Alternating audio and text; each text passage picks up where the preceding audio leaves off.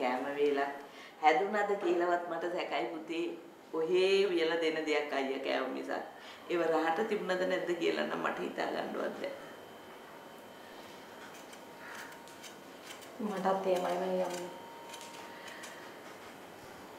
මාත් කන හැම වෙලාවකම ඔය දෙන්නා මතක් වුණා. මගේ දවසේ අයියා හිටියේ පිස්සෙක් වගේ. ඌ ගිහිල්ලා ඇමතිතුමාගේ ගේ ළඟ කෑ ගැව්වයි කියලා අයියව අල්ලලා රේල් පාරේ ගෙට ගහලා තිබ්බා. දැන්වත් ඔය සම්බන්ධ නතර කළා දාන්න බැරිද පුතේ? මං හිතන්නේ අපිට තිබ්බ මාර්ග ටික එකවර ගෙවිලා ගියයි කියලායි.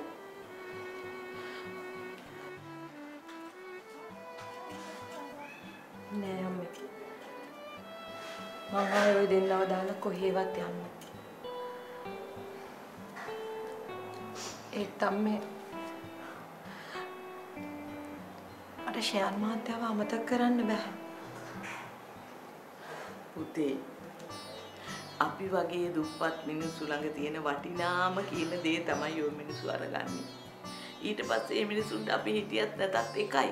ඒකයි මම ඔබට කියන්නේ. දැන්වත් ඕව අමතක කරලා දාලා අයියා කියන විදිහකට හිටහම් පුතේ. අයියා ඔබට හොඳ තැනකින් කටයුත්තක් කරලා දෙයි. එපා අම්මේ. ඕන්න. මට කිසි දෙයක් ඕන්න. මට ඒ හැම දෙයක්ම එපා වුණා. මං කවදාවත්ම හිතුවේ නෑ අම්මේ. ඔය දෙන මාව මේ විදිහට බාරගනින් කියලා. ඒ? ඔබට තියෙන ආදරේ හින්දා නේද? ඒකයි මම ඔබට එහෙම කියන්නේ. මං ආයේ කොහෙවත් යන්නේ නෑ. ඔය දෙන්නව දාලා කොහෙවත් මේක දැක්කම වෙලා. මට කසාද ඕනේ අම්මේ.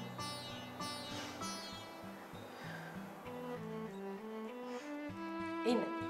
අද මං ඔය දෙන්නට කෑම හදලා දෙන්න.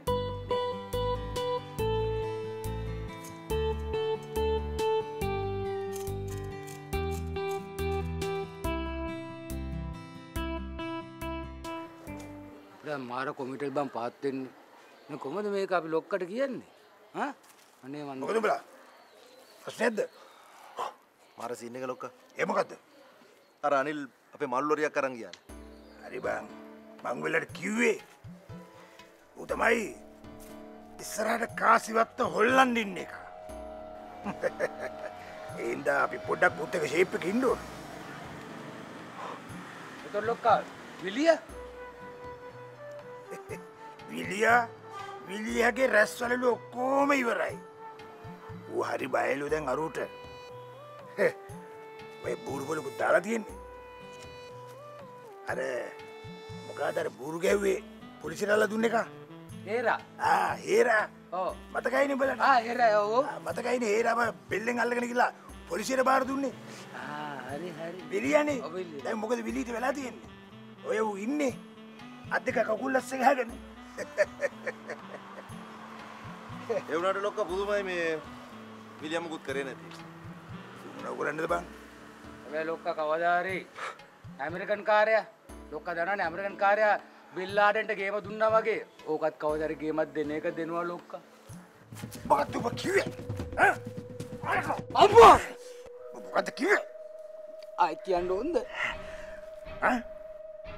මගේ පැත්තද උගේ පැත්තද? මගේ ඉතින් කවදාද කිස්ටෝපරයා පැත්තේ කිස්ටෝපරයා එහෙනම් කටවගෙන හිටු. මොකේ කට හොඳ නෑ ක්‍රිස්ටෝෆර් අයියා. හ්ම්. අපි දන්නවනේ. ඔයගේ කටවල නැති කී දෙනෙක්ගේ කටවලටම පිළිකොක් දාලා තියෙනවද කියලා? අනේ කිස්ටෝපරයා ඊට පස්සේ මම බත් කණ්ඩුවත් කට අරින්නේ මේ එතකොට ක්‍රිස්ටෝෆර් අයියා අපි දැන් අනිල්ට උදව් කරන්න ඕනේද? ඔව් ඔව් ඔව් ඔව්. පුළුවන් පුළුවන් හැටියට උදව් කරපල්ලා.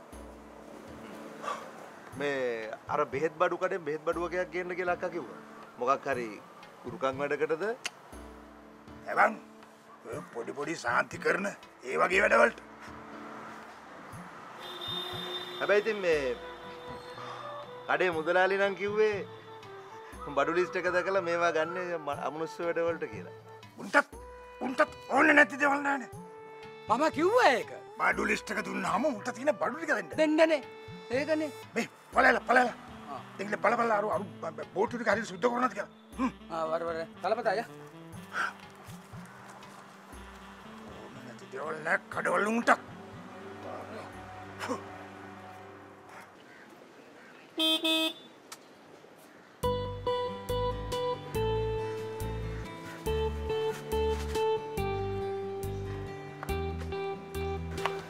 කියයි ඉස්සෝ. කවුද? අපේ අයියත් දුන්නේ. ඇයි අයට විතර දෙන්න පුළුව නෑනේ මේවා සුද්ධ කරන්න ගියම තමයි තින් එපා වෙන ම සුද්ධ කරලාගෙන ආය මොකට දෙකෙක්ෙනයි කතන්දරහන් ලකි අයිය මං හිතුවෙන අපේ අයිය අම්මයි මම මේ විදිරි පිළිගනි කිය එකට තමයි චුකි කියන්න සැබෑ ආදරය කියලා. ලකි අයියේ ෂයන් මාත්‍ය මාව හොයාගෙන ඊද අප වෙයි හැබ යන්න එකක් නෑ පණපිට ඇයියේ පිළියයි පුදුම තරහකින් ඉන්න. පහත් තැනින් ඇයි ජලය ගලා කිව්ව වගේ ඔක්කෝම තරහ ශයහන්ගේ පිටින් යන්නට තියෙන අපි දැම් මොකද ලකි අයිය කරන්නේ? අපි? මම්මොකට ඔයාම තමයි තීරණ කරන්න ඕන. ඒ මොකක්ද ප්‍රශ්න ඇති කරගන්නවද නැති කරගන්නවද කියන එක අනේ ලකි අයියේ තමන්ගේ ජීවිතය ගැන තීරණ ගන්න තමන්ට අයිතියක් තියෙනවා වගේම ඒ තීරණ වැරදුනහම අනිත් අයට දොස් නොකිය ඉන්නත් වග බලා ගන්න ඕනේ. ලකි අයිය ඔය නොකිය කියන්නේ මට ෂයන් මාත්‍යව අමතක් කරන්න කියලා නේද මට එහෙම කියන්න අයිතියක් නැහැ නේ චුටි. මං ඉස්සුගෙන ආයේ ඔලු කඩලා. එච්චරයි.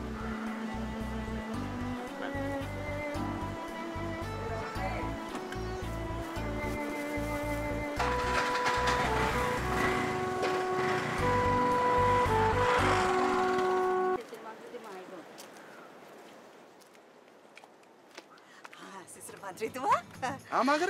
මන්ත්‍රීතුමා ආමාකර ඇත්ත තුඹ අලුත් බිස්සසයක් පටන් ගත්තා කියලා ආරංචි. අනේ නෑ සිසිර මන්ත්‍රීතුමා බිස්නස් එකක් නෙමෙයි මේ. මේක මේ සමාජ සේවා වැඩ කටයුත්තක් මම ආරම්භ කළේ. අපි මේ කාසිවත්යේ ජනතාවගේ ජීවන චක්‍රය නගා සිටමින් ඒ කියන්නේ ඔවුන්ගේ දරුවන්ගේ අත්දැකීම් මාකරට පොඩ්ඩක් හිටපන්. මට ඇත්ත කියපන්. උඹ ලබන් සැරේවත් ඡන්දය ඉල්ලන්න අදහසක් තියෙනවද? අනේ නෑ. ඇයි එහෙම හැව්වේ? නෑ උඹ හොඳට සමාජ සේවෙත් කරනවා. ඒ වගේම හොඳට කතා පවත්වන්නේ. නෑ ඉතින් මට මගේ රාජකාරිය හරියට කරන්න තිබ්බොත් ඇති. මට ඇත්ත කියපන්. දැන් කී දෙනෙක් උඹ රට ඇරලා තියෙනවද? මුල් කණ්ඩායම වශයෙන් 20ක් ඇවලා තියෙනවා. හැමෝම මේ ඩුබායි රටට. ඒ කියන්නේ මනාප 60ක්. අනේ මාකරට. කාසිවත්තේ මගේ ඡන්දදායක වෙන මං ඉන්නේ. උඹ ඒගොල්ලොන්ව රට අරින්න එපා.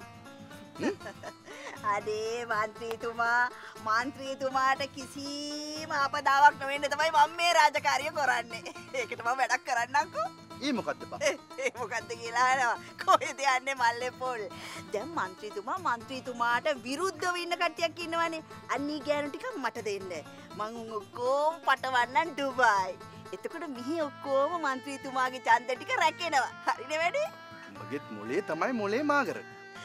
මේවා ඉතින් නියමමලා මෙවා මේඩි ශ්‍රී ලංකා වුණට ඔක්කොම යස් කලා තියන්නේ යසින් යසින් ඔක්කම ඩුබයි සුල්තාන්ගේ මොළවල් ඔක්කොම තිගෙන්නේ ඒක ඉති මේ නැවුම් අදහස්සෙන්නේ හරි. මම්බට අල්ලලා දුන්නොත් රට යවන්න ඔබ මට කීයක් කමිෂන්යක් දෙනවද? මට ඕනිති ලක්ෂ එක හමාරක්වත් හරි. එහෙනම් මං ලස්ස දෙකයි කියන්නම්කෝ. ඒ තරන් ගණන්නන් තියාගන්න එපා සිසිර මන්ත්‍රීතුමා නෑ ඉතින් මම ඔය කිව්වේ සභාවේ වැඩවලින් තියාගන්න ගණන්. කොය දෙයන්න මල්ල පොල් කිව්වලු මට දැන් හිතාගන්න පුළුවන් ඉතින් අපේ බදු මුදල්ලට මොකද වෙන්න කියලා හැබැයි මේ මන්ත්‍රීතුමා වැඩේ නෝන්ඩි නොවී ඕන දෙයක්කා නෝඩි කරගන්න එපා එහෙනම් හරිනේ මාකර. එහෙනම් අද ඉඳලම මම වැඩේට බහිනවා. එහෙනම් මං යන්නම් බං. ඈ? කොයි දෙයන්නේ මල්ලේ පොල් කිව්වලු සමාජ සේවය මුලට දාලා කරන්න මගෝඩි වැඩ